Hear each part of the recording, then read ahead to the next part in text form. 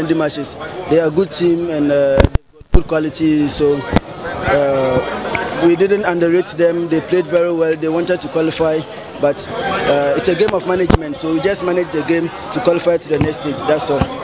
I'm not the only one who's experienced. The Simba has got a lot of experienced players, like 90%. We've got few young ones, so they know how to manage games. They know how to control themselves. So uh, it's, it's, it's, it's normal for them.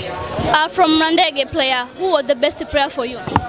Uh, I didn't I didn't check properly, but uh, for the first time I played them in Dar es Salaam, I, I liked uh, their centre back. I think today he was wearing number 15.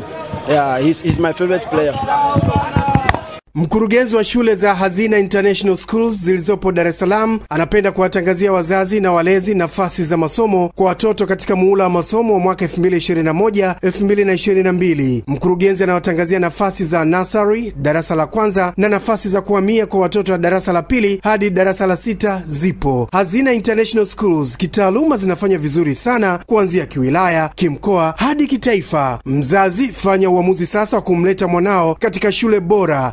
Nafasi ni chache. Shule za Hazina zina mazingira bora kabisa kwa elimu ya mtoto wako. Huduma atakazopata mwanao ni pamoja na usafiri, chakula na elimu iliyo bora kabisa. Mzazi, mlezi, acha kuangaika kipindi hiki kumtafutia mwanao shule, mlete Hazina International School. Kumbuka, urithi bora na sahihi kwa mwanao ni elimu bora na sio bora elimu. Hazina Schools ndiyo chaguo sahihi kwa mwanao katika hazina ya elimu. Wanapatikana Magomeni Moroko, njia panda kuelekea Sinza na Bunju A. Jumatatu hadi Jumamosi interview itakuwepo. Pia mabweni yapo. Kwa mawasiliano piga simu 0716 999 822 na 0719 60 00 05.